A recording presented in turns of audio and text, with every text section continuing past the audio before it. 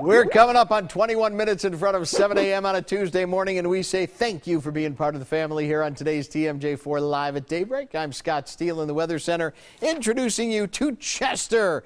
Our great viewer, Bonnie Story, sending in this shot of Chester, the kitty cat. She says he decided to play dress up on a cold day and wants to know how he looks. Well, Chester, I think purple is your color. Looks very good, although with all those feathers, I wonder if he thought it was actually a bird he was chasing. Let's take you around the clock so you can plan your day weather-wise.